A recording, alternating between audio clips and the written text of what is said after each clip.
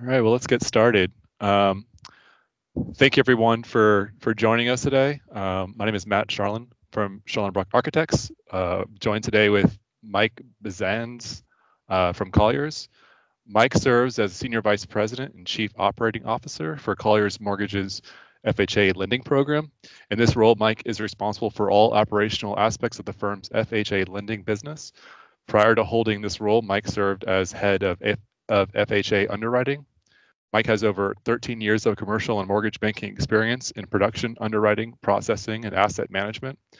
Prior to joining Dougherty Mortgage, now Colliers Mortgage, in November of 2010, Mike worked as an asset manager for a family owned development and management firm where he was responsible for the company's portfolio of apartments, condominiums, and townhomes. Um, so we're we're all gathered here today to to discuss, and figure out how to unlock this capital. Um, you know, it's been a challenging market uh, financially, uh, not knowing exactly how the Fed is going to uh, to instruct interest rate policy going forward. They've they said that they're going to be uh, dovish uh, in the in the coming years, but kind of with a, a bearish tinge to it uh, in the immediate future.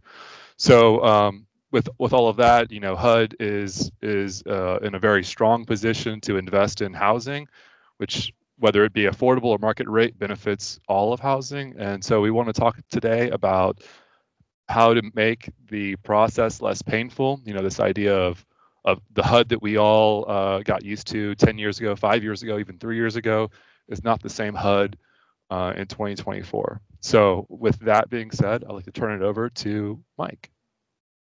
Great. Thanks, Matt, and good afternoon or good morning, everybody. Um, I, I want to thank Matt, uh, David, and the whole team at Charlan Brock for inviting me and uh, giving me the opportunity to talk to all of you today. Uh, I'm really ex- excited to talk about HUD financing. I know for for some people that's kind of an oxymoron, but uh, you know, really, I'm very passionate about HUD financing. Um, I think it's a, a, very a very great option in all markets, but but particularly um, in today's market, um, where we continue to see news stories and and hear anecdotes and and see firsthand uh, the challenges of obtaining financing for new construction. And you know the the FHA HUD programs are are there to provide liquidity um, in all markets um, at all times, and including the market we're currently in. And so you know HUD is there, HUD is available, and HUD is lending. And so what I want to talk about today is um, the new construction programs,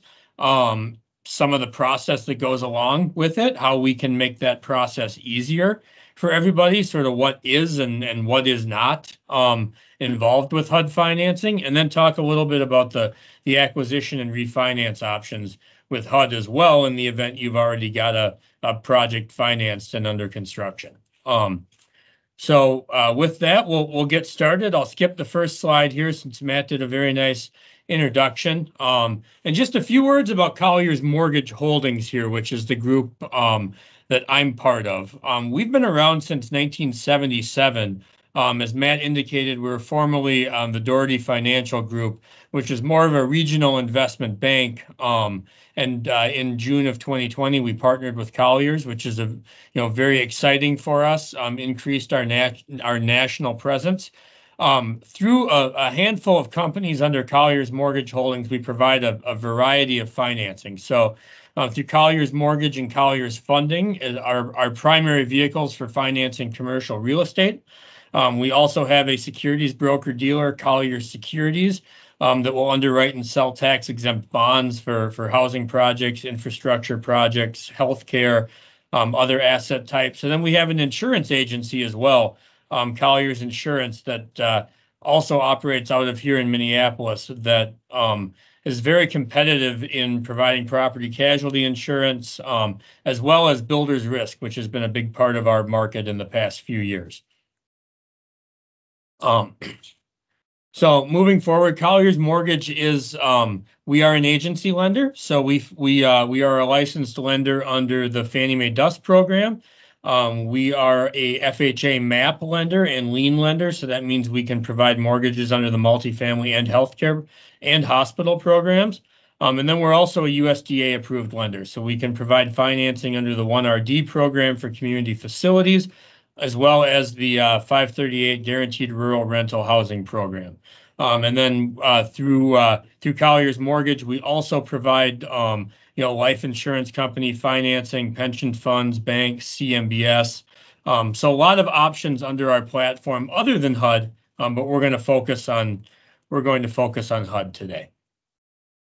Um, and and HUD really provides a, a variety of loan types. Um, HUD will provide new construction financing. Um, they'll provide financing for substantial rehabs, um, and that includes both a rehab of an of an existing multifamily property or a conversion of another type of housing into multifamily. So adaptive reuse of of office buildings, which we're hearing a lot about lately um, or you know historic mills and other historic property types. We've seen all of that.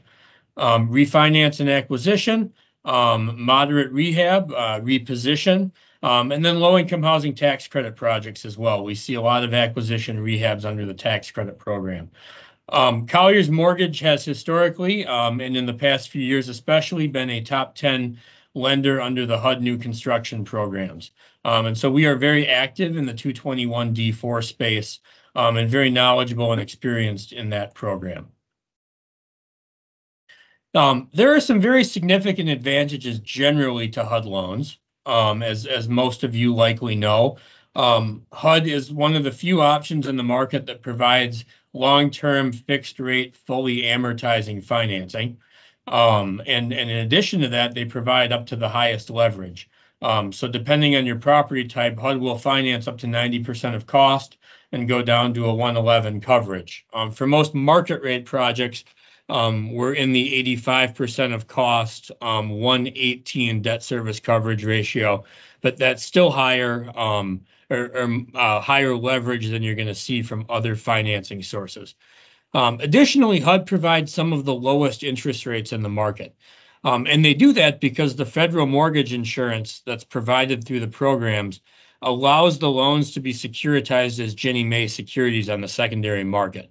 And the Ginnie Mae security has the full faith and credit of the United States government. And so it trades at a much lower spread over a 10 year treasury than, um, than another asset type. So um, we've got long term fixed rate, high leverage, fully amortizing. Um, also have flexible prepayment options. Um, typical structure on a HUD loan is a is a step down prepayment. So um, you you would have uh, a typical structure would be 10% of unpaid principal balance in the first year, nine in the second, eight in the third, and so on. And so what that creates is predictability um, with respect to your prepayment penalty. Um, you don't have to rely on a yield maintenance or defeasance calculation that varies based on the market. Um, very important in today's market, um, HUD loans are non-recourse.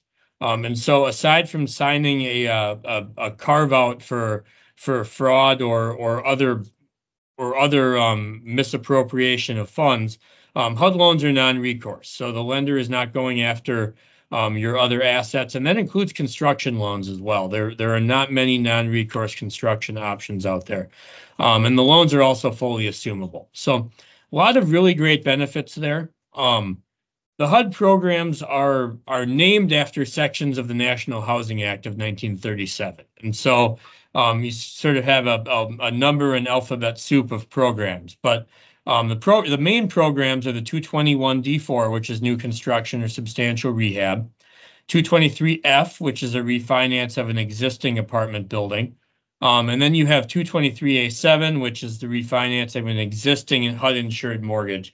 Um, and then there are some other lesser used programs as well. Today, we're going to focus on the D4 and the F programs. And so here we go. We have a, a, a good amount of information, which I know is a bit small, and and uh, you know the presentation will be made available. But here are some general terms for the 221 D4 program. Um, as I mentioned, it's a, it's a fully amortizing loan, but most importantly, it's a drawdown construction loan that converts to a fully amortizing loan. So you have a drawdown interest only loan for your construction period um, plus two months, at which point converts to a permanent loan without a conversion or a re-underwriting test. And so you know, unlike a, a forward or a bank execution that, that maybe have, has a mini perm component, there is not a performance or operations test to convert that loan to a permanent loan. So it takes out the refinance risk that might be associated with another type of financing.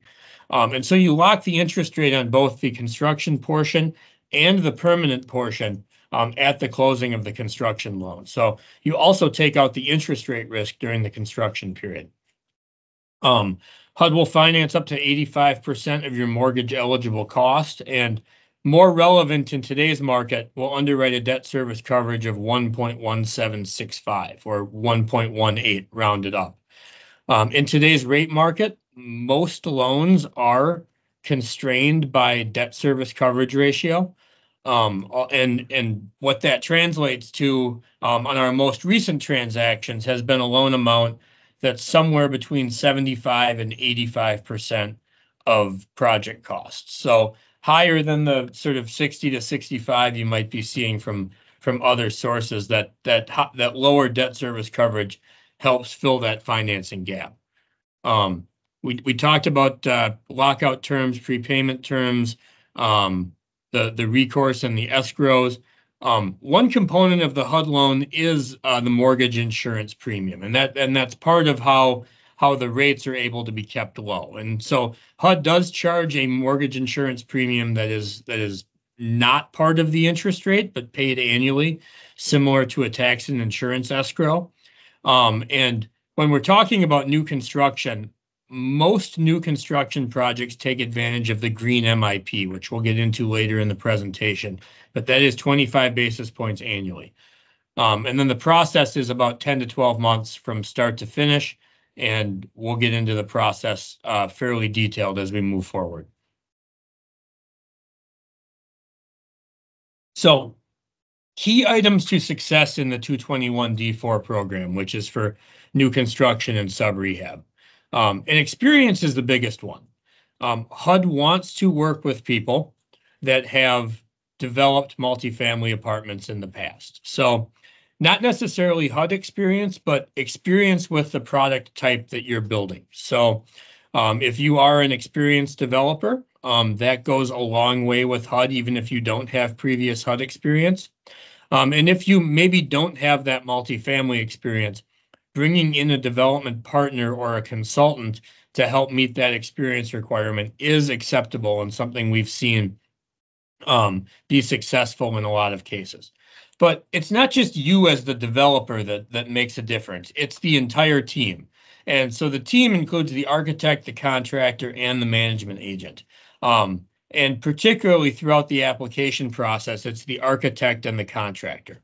Um, the HUD process is driven very heavily by um, the architecture and cost review and the design timeline. So having having a team on the design side that is familiar with the HUD requirements and experienced in designing multifamily is going to make that process a lot easier for you um, because they're going to know what's required of the plans and specs. They're going to know the formatting. They're going to know the deliverables, the stages of completeness, and they're going to be able to work with you and your lender to come up with a with a timeline and a, a project schedule that that everybody can work towards um, and deadlines that everybody can meet which is really important in in staying on track and and getting to closing in a in a 10 to 12 month time frame um fully designed plans and specs are a big por- big component of the HUD program. So HUD doesn't allow a design build project. They do want your project fully designed. And so again, that's where a that's where a design team comes in. Um, on the construction side, HUD does require Davis Bacon wage rates to be paid. And so having a contractor that that is either familiar with and has used Davis Bacon before, um, or has the, the back office support needed to um, needed to do the wage compliance is important. And so working with a working with a sophisticated and well-capitalized contractor makes a difference. And then again, non-recourse for the life of the loan. So HUD is not making you as the developer sign any sort of completion guarantee, um, which is which is very significant in today's market. And instead, the HUD relies on the contractor's ability to provide a payment and performance bond, um, essentially as the completion guarantee. Um, and the cost of that is a mortgage eligible cost. And so again, working with a contractor that's able to provide those bonds um, and has that experience is, is very important. Um, so I'm going to talk a little bit about the HUD process and the key stages um, in the process. Um, and there, I divide that into into four: um, the concept meeting, the pre-application, the firm application, and then rate lock and closing. And we're going to talk about the timeline and and the key parts of of each and how we can make each one of those as efficient as possible. Um, and so the first stage in the HUD process is, is what's called a concept meeting. And that is the opportunity for you um, as the developer um, and your project team and your lender to go sit down with HUD and present the project um, and, and answer any questions and address any items that, that HUD is concerned about up front. Um, it's really the first step in the process, and there's no cost associated with doing this. But um, we found that concept meetings are are extremely productive and and really get everybody, both the developer, the lender, and HUD on the same page with regard to expectations um, and timing. Um, prior to the, the COVID pandemic, these were all in-person meetings. Um, they're usually held via Teams these days just because the scheduling is a little bit easier with the HUD staff um, and their office schedule. Um, but to, to put together a concept package and request a meeting, um, your lender is going to ask you for uh, a handful of pieces of information, which includes your initial loan analysis, so your your lender's sizing and analysis of the loan, um, and then a, a narrative write-up package on the project that talks about um, the development team, the location, the site, um, environmental conditions, um, and the market um, to give a, an overall preliminary presentation um, of the development. The focus of these meetings tends to be environmental, market, and development team. And so it is really helpful um, at the concept stage if there's a phase one environmental report available or a preliminary market study. Um, and, you know, a phase one can be a few years old, it can be a handful of years old, or it can be recently obtained. But just having an environmental report that addresses the site conditions um, goes a long way in sort of driving the discussion with HUD. Um, and then a preliminary market study as well. Um, we work with a number of vendors, including our partners at Colliers, um, to put together a preliminary market analysis that gives some preliminary demand and absorption conclusions um, to put in front of the HUD staff. Um, well, neither of those items are required. We find that it makes the process a lot easier and a lot more efficient um, to go into HUD with some demand numbers. Um, it's possible that if you've been through the process before and you've maybe had a concept meeting with HUD, you've sat down and, and somebody on at the HUD office has expressed skepticism about the market or you know made blanket statements of well there's an awful lot of construction there. And having a market study that that shows exactly what's being what's under construction what's being proposed um, and what's in the planning stages relative to market growth is significant and really impactful for minimizing that amount of discussion and getting past any sort of market concerns to get to a positive conclusion um, from that meeting. Um, once we've had the meeting, which normally lasts an hour, um, HUD will issue a letter within five to seven days that either encourages the project to move forward or discourages the project from moving forward. And, and in the encouragement letter, HUD will identify the specific items they want addressed in the next stage of the application. And having that letter is helpful because it, it lets you know and your lender know what sort of the hot button items are.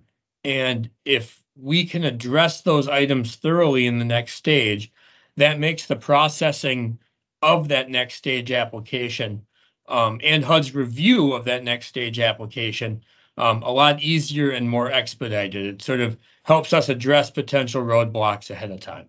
Um, and as I mentioned, there's no cost to have a concept meeting. So aside from any third parties that that might be engaged in advance of that meeting.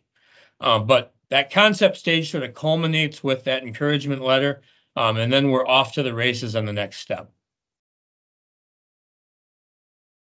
And so the next step is the pre-application. And the pre-application is an appraisal, a market study, um, the phase one and the HUD environmental review submission. Those are the key items along with a bit of limited due diligence. Um, we do have to have schematic drawings at that stage.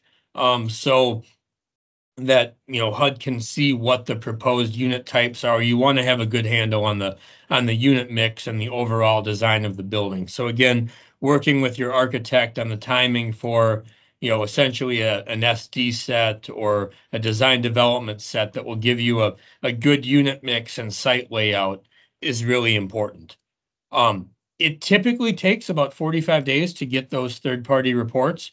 Um, and if the due diligence is submitted in a timely fashion, um, typically we can get a pre a pre-application submitted to HUD within 45 to 60 days of kicking off that process. Now, if you've done a HUD loan before, or you've you've not done one but but heard about a HUD loan before, you've you've maybe heard about paperwork and due diligence requirements. Um, you know, being a government agency, HUD does have um, forms that need to be completed, and they and they do have a fairly robust due diligence checklist. Um, but working with a capable and experienced lender um, really makes that process a lot easier. Um, at Colliers Mortgage, we will take your organizational chart for your mortgagor entity and fill out the forms for you as much as possible, with the goal being having a due diligence package to you that you can review sign and make any comments or changes on, rather than just sending you a, a bunch of forms and asking you to fill them out. It's like it's like the difference between trying to do your own taxes um, and having somebody help do your taxes. It, it, makes a makes a big difference the you know the lender you use and the and the willingness to put together that due diligence for you. And that makes that process much easier, especially if you don't have a a significant staff or pool of analysts at your um, at your office to be collecting that due diligence. Um, once we submit that application to HUD, HUD has 60 days to review and issue uh, what's called an invitation letter. Um, that invitation letter that HUD issues um, will set forth the approved rents and expenses for the project. And so that letter is HUD's approval essentially of your income and expense underwriting. So they've signed off on the project, they've signed off on the income and expenses, and they're sub- inviting you to submit a firm application. So you have pretty good comfort at the point of receiving an invitation that that project is going to move forward. I think something like 98 or 99% of projects that receive a, a invitation letter um, end up receiving a firm commitment. And those that don't are projects that have very significant changes in either the project, the team, or market conditions between invitation letter and firm application submission. Um, and then the cost of submitting the the firm application is a, is in addition to the third party reports, um, a fee to HUD. It's half of your HUD exam fee, which is HUD's application fee, and that's 15 basis points of the mortgage. Um, the next step in the process is the firm application. And the firm application is really the critical path in overall timing. And I want to be clear that during the entire process, whether it's the concept meeting or the pre-application, we're also working toward the firm application submission. And we're doing that because the driver of the timing of the firm application is your plans and specs and your construction pricing and the lender's third-party review of those items.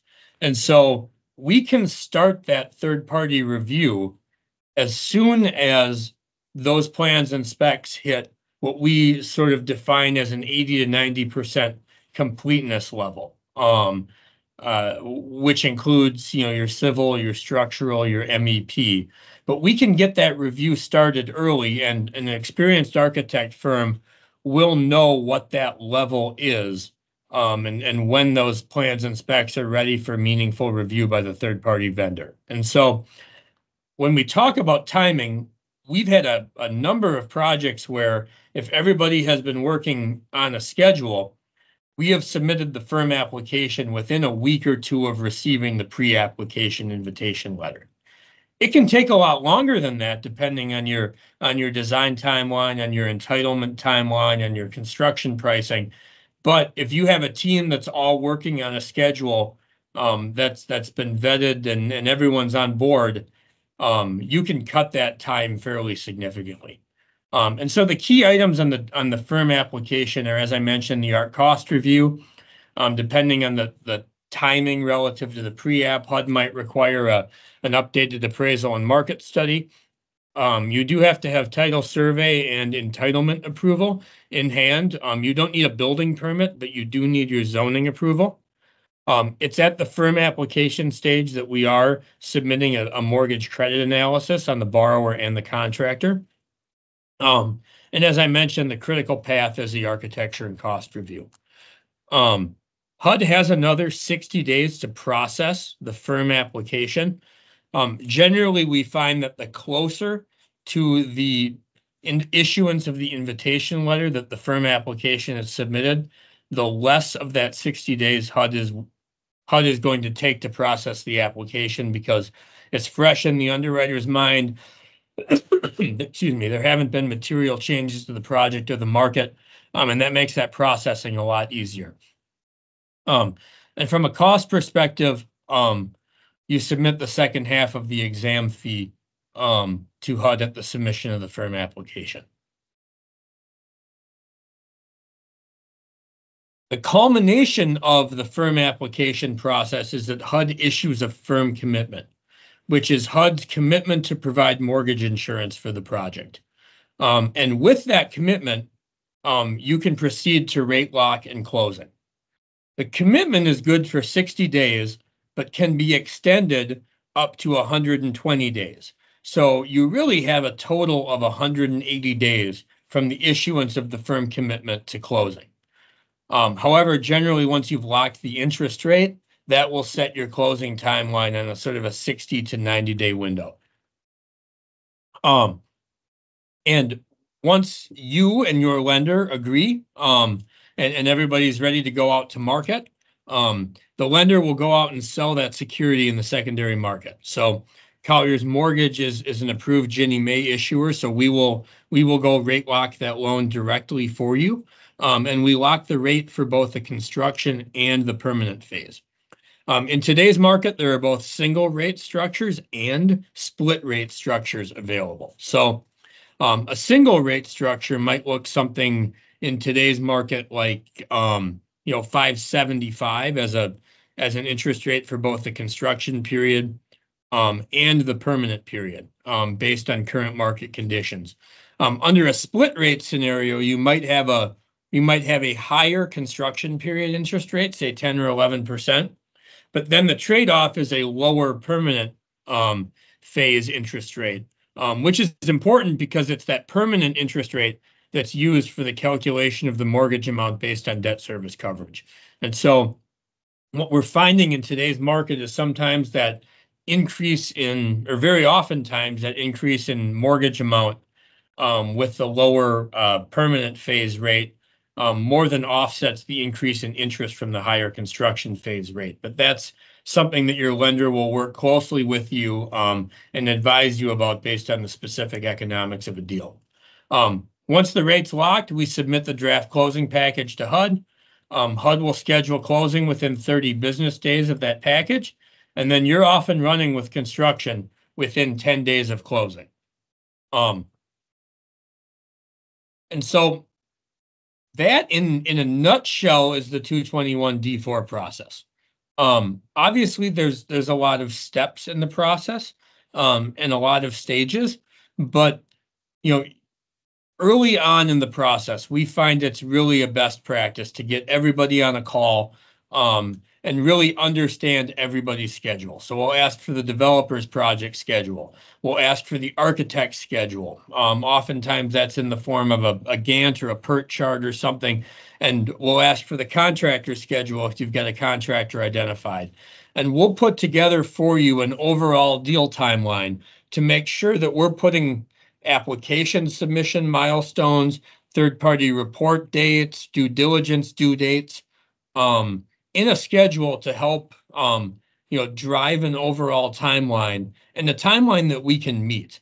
And so, um, in doing that, you know, we often find that, you know, if, if as I mentioned, if if everybody's working on a on a diligent schedule, this process from start to finish can can take can take as as little as nine to ten months. Um, you know, important to note if you've done a HUD deal in the past few years, um, or particularly in the southeast region, um, during the COVID pandemic, HUD's volume was very significant, and and they received more applications than they were able to process, and so HUD had an application queue at the time, um, and that queue added 30 to 60 days of processing time to each stage because a deal would wait in HUD's queue until an underwriter was able to pick it up.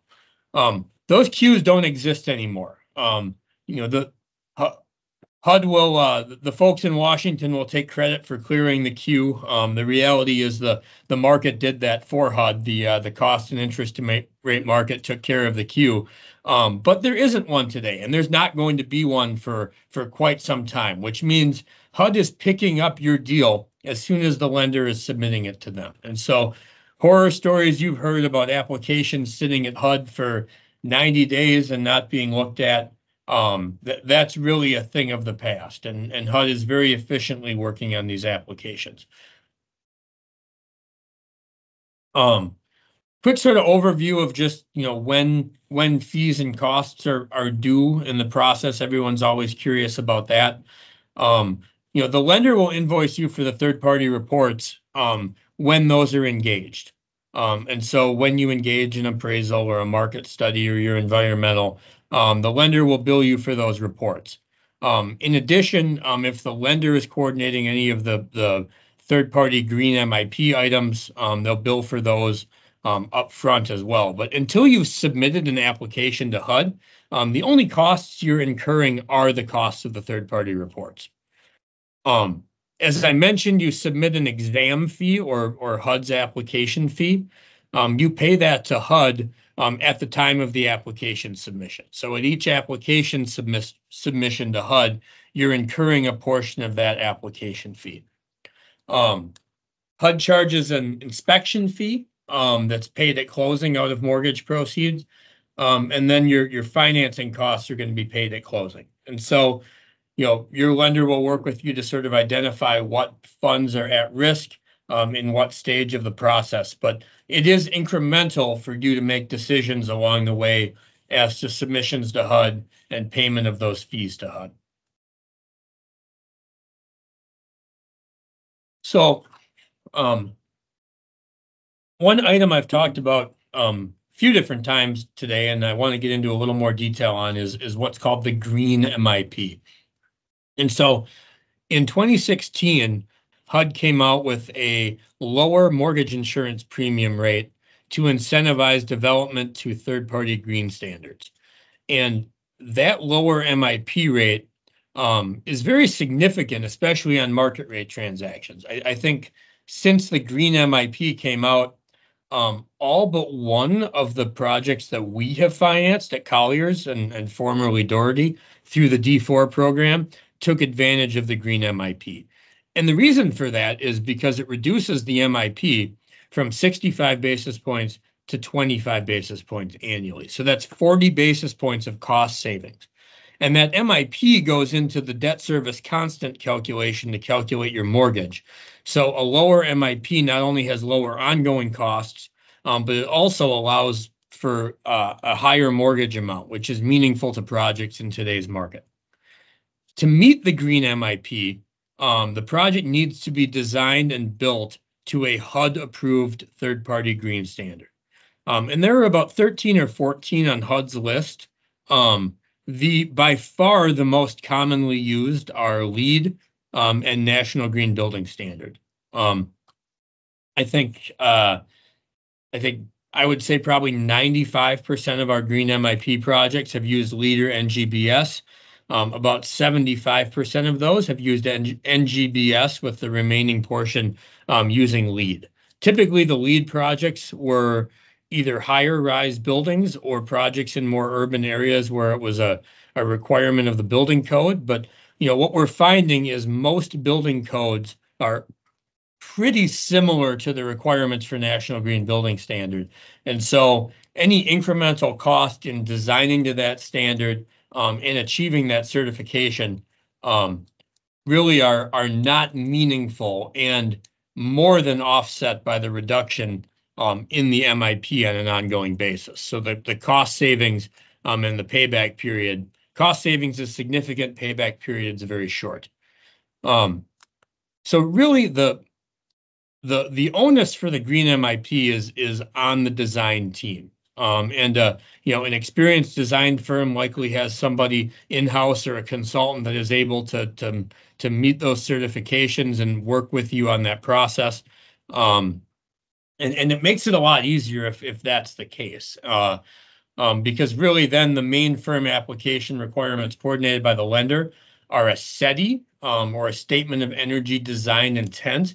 Um, and that's a modeling exercise through the EPA's portfolio portfolio manager tool. Um, HUD requires a score of 75 or better. Um, if you're designing to a third-party green standard, your score is going to be well above 90. Um, and then a data collection plan, which identifies how you're going to collect utility data on an ongoing basis. Uh, most of the time on a new build, that's going to be a master meter. Um, before the uh, before the utilities, uh, the the gas and electric go out to separate unit meters. That's generally the most cost effective way to do it. Um, and and that helps for the ongoing requirements, um, which is an annual submission of a statement of energy performance or a SEP, which takes your whole building utility data, runs it through the EPA's portfolio manager, um, and you need to score 75 or higher on an ongoing um, on an annual basis as well. Again, shouldn't be difficult if if you've met those design requirements. Um, and a key item for the green MIP is just involving your architect and consultant early. Um, you know, and, and a lender is going to ask for information um, if you're using one of the standards um, and, and really, you know, can articulate with the design team what those requirements are early on. But getting ahead of the green MIP and and being purposeful about it from the outset makes it a much easier process than getting to the firm application submission um, and realizing that you don't have the the energy items needed for the green MIP. So again, uh, uh, an experienced development team goes a long way on that front. Um, and this next slide is just to, to illustrate some of the examples of projects um, that we've been involved in um, that through the 221 D4 program recently. And this shows sort of the variety of, of, of executions that can be done. Um, you know, Culebra Road Apartments is a is a new construction low income housing tax credit project. Um, the Draper is a new construction market rate project. Um, Sherman Forbes is an acquisition rehab of a Section 8 project using tax exempt bonds and low income housing tax credits. Um, and then Zenith is the conversion of a uh, of, a, a, historic high school into market rate apartments using historic tax credits. So a lot of different ways the HUD programs can be used. Um, we spent a good amount of time talking about the D4, and uh, while that's sort of the, the focus of the presentation, I did want to talk about the 223F as well, um, and that is HUD's acquisition and refinance program. Um, candidly, it's very, very little used for acquisition, um, just because those those timelines are a little bit short. And even though HUD can close in four to six months, um, typically a seller is not giving a buyer that much time. Um, if you've if it's been a little while since you've done a HUD 223F, you may be familiar with something called the three-year rule. Um, and the three-year rule stated that um, in order to refinance a project with HUD, um, a project needed to be three years from the date of its certificate of occupancy. Um, in 2020, um, immediately before the COVID pandemic, HUD rescinded the three-year rule. Um, that rescinding of the three-year rule got sort of got overshadowed by what happened over the next year and a half. Um, but HUD is able now to refinance conventionally financed properties once they've hit stabilization without having to wait for three years, um, which is very significant and made HUD a great tool for a project that may be under construction right now or may have conventional financing that you're far down the road on, but your goal is ultimately long-term fixed rate, fully amortizing finance. The F is a great option there. Um, it is a 35-year term in amortization. Um, HUD will finance up to 85% of value. Um, it drops to 80 if you're taking cash out, um, and HUD will underwrite a 118 debt service coverage ratio. Green MIP also is applicable for a 223F refinance on a market rate project. It takes that MIP from 60 basis points down to 25 basis points. So again, a meaningful savings. If you are designing a project to use conventional financing but are planning for a HUD takeout, um, the design team is still really important because if you want to use that green MIP, you really want to design and build that project to a third-party green standard. And you also, it's very helpful to have an architect that is familiar with HUD's requirements because even if you're not doing the construction loan with HUD, having a project that's fully designed to Fair Housing, Americans with Disabilities Act, um, and the green MIP makes that refinance project a lot easier. Um, you would be surprised how many projects, even in today's market, are built um, that don't meet the Federal Fair Housing Act. And so having a designer that is that is really on top of those requirements goes a long way when you go to refinance. Um, and the 223F process takes about four to six months um, from start to finish. Um, and really, that process is driven by third-party reports. So it's an appraisal, a phase one, and a capital needs assessment. Those take about 30 to 45 days. HUD has 45 days to to review the application and issue a firm commitment, and then it takes about 30 days to close from there. So that's where the four to six-month time frame comes from. A couple key items is to submit a firm application for a 223F, You need to have one month of stabilized operations supporting the loan amount. So for a newly built project, the refinance will be underwritten based on a stabilized appraisal NOI. And so HUD will want to see that you have one month of actual operations that supports that loan amount at a 1.1765 times debt service coverage. And then you need three months of consecutive similar operations to close. Um, and so when we're working on a refinance for a newly built project, um, we like to get involved early, even before that stabilization has hit, so we can be tracking monthly operations against um, the stabilized pro forma to help advise when it makes sense to engage those third-party reports so we don't lose any time waiting for third parties and application due diligence and are in a position to submit as soon as the project hits that one month of operations because we know most people want to get out of their construction loans as soon as possible. Um, HUD does allow cash out. Um, there's a little bit less of that in today's market, but HUD will allow cash out. Um, if your project was built within the last year um, and you you haven't hit six consecutive months of the stabilized debt service coverage, HUD will hold some of that cash out until you hit the the um, the six consecutive months. HUD will now allow repairs up to about $50,000 a unit to be included in a 223(f). We call that the heavy F. That's mostly for value-add acquisitions or low-income housing tax credit projects, but that's a significant improvement over the the previous requirements. Um, and then again, the 223F is a non-recourse loan. Um, so uh, important as you're looking at long-term financing options. Um, and then just a handful of representative transactions as well. This represents both market rate, newly built projects that we refinanced with HUD, as well as low-income housing tax credit projects and existing projects. So um, just existing, uh, you know, projects between five and 20 years old, great candidates for the HUD program as well. Um, and then before we stop and open for questions, uh, wanted to summarize with some of the advantages of the HUD programs. Um, and obviously, I think the first pro, uh, first advantage is that uh, it is non-recourse. Um, and as we've mentioned, uh, longest fixed rate fully ex fully amortizing option available um, lowest interest rates available in the market, um, lowest underwritten debt service coverage, um, highest underwritten loan to value typically in the market.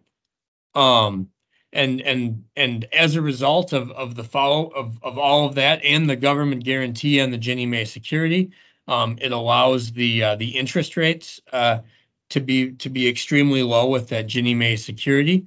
Um, in addition, and what's really important to bring up in, in times of high interest rates like we're in today, is that HUD does have two easy mechanisms um, to reduce that interest rate. Uh, the first is a 223A, A7 refinance, and the second is an interest rate modification.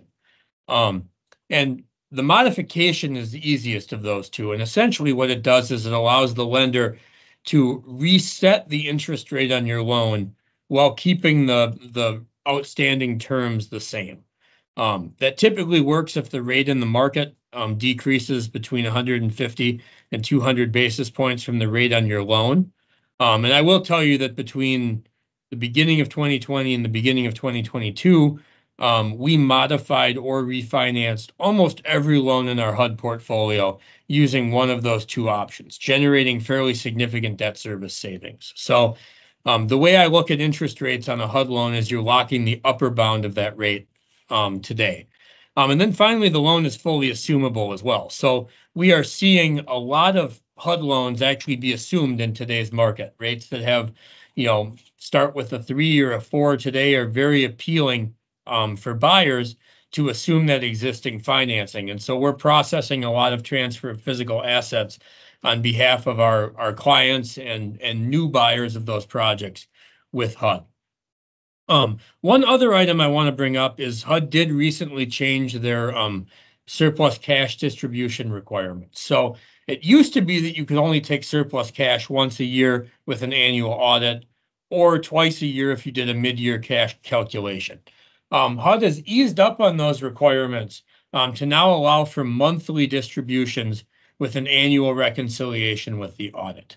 Um, the only caveat is to qualify for monthly distributions, you have to have had previous successful HUD experience, so you can't have any significant flags with HUD. And if a, a deal is your first HUD deal, um, HUD will require the semi-annual distributions for the first year before switching to monthly. But the monthly distribution change is, is a meaningful one for a lot of borrowers and has actually driven a lot of developers that were previously not interested in using HUD to the HUD program. So something to consider as well.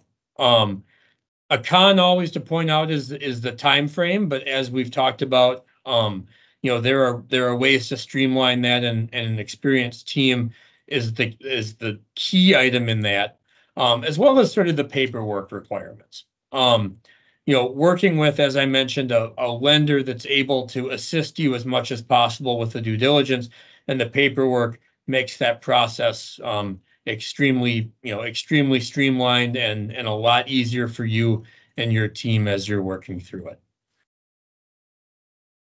Um, and with that, Matt, that brings me to sort of the end of the prepared presentation. Um, I'm not sure if you got any questions during the chat, um, if you had any or or anybody wanted to ask, but I do really appreciate the opportunity and and time to talk to everybody today. Well, Mike, that was a that was an excellent presentation. Um, I, I, did not see any questions. I do want to I do want to open it up for questions. If you have any questions, please feel free to drop them in the chat or the Q and A, um, and I can ask them of Mike. Um, in the meantime, I did, you know, uh, want to say uh, couple of the takeaways that I got were the flexibility that that HUD has. It, it seems like the process is reasonably non. It could be nonlinear. You know, in other words, you might start the project one way, um, or a fully developed project uh, could be repositioned. Um, there was a lot of cash available to to do some creative things there. Um, also, this idea, I don't know if you have um, some more thoughts on this idea that you talked about. Um, a lot of our developers are more familiar with it than I am, but the idea of the, the takeout loan and also the, the builder's premium, the builder's risk. Um, so this risk mitigation aspect of, of HUD um, seems to be really uh, aware of you know a lot of the pain and struggles in the market. So if you could maybe revisit a little bit about some creativity around um, the the um, switching from the construction loan to the permanent loan, um, but that was that was one of the big takeaways for me. Yeah, absolutely, and and really, I mean, in, in today's market, you know, we're aware that that you know developers are in a lot of cases you know sort of having trouble getting out of their construction loan. Um, that that loan may have been underwritten um, with an interest rate stress that sort of didn't account for what has happened in today's market. And so the 223f has been helpful there because when compared to other executions the f generally wins on proceeds which either minimizes the cash that a developer might need to put in to pay off their construction loan um, or or even make that cash neutral. But what I think is a really important selling point of the D4 is that you have the construction and permanent loan built into one. So there is no conversion test. You don't have to sort of make sure that your project hit pro forma in order to refinance that loan out, or you're not subject to whatever volatility there is in the market um, that occurs between the time you start construction and the time you refinance out, which which may be in reality a two, three, four year period. And so, you know, we're sort of, you know, industry folks will say we're sort of in a period of the cash in refinance, which hasn't existed for a long time. But um, doing a D4 minimizes the, you know, takes out the risk that you have to do a cash in refinance after construction. Um, and the 223F for projects that are already under construction is going to help pay off that construction loan by generating the maximum possible proceeds. Awesome. I do have a question here, um, kind of around the idea of, of, of, the interest in the 221 D4. Um, have you seen an uptick in the 221 D4 interest um, or applications lately? And if so, how significant has that been? Yeah, great question. And the answer is yes. Um, and and really we, we've seen, you know, we've seen interest from a lot of sources. I mean, number one, sort of your traditional HUD borrowers that have been historically used to using the HUD program. Um, we've seen developers that are new to the HUD program sort of, you know, approaching the, you know, starting a project, um, you know, from even the the site plan and and concept stage um, looking at HUD because of certainty of execution, um, maybe available time, um, not as much of a race to get in the ground, but rather wanting to wanting to take advantage of the of the benefits of the program that I've talked about. So we're seeing a lot of developers new to the HUD program starting um, from scratch.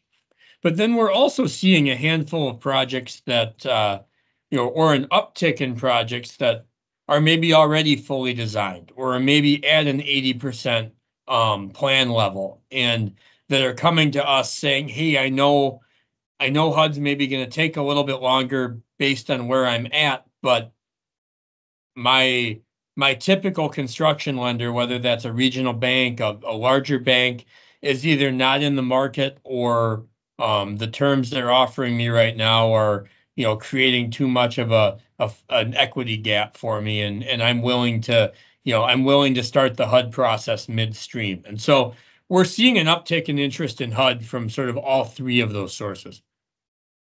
Awesome. I, I don't know if um, if we highlighted this earlier or not, but you also mentioned on previous calls that the uh, the size of, of what's considered to be a, a large HUD loan has been revised upward. Um, do you want to mention that or? Yeah, yeah, great, great point. So um, until about a little over a year ago, um, HUD's parameter for what they called a large loan was 75 million.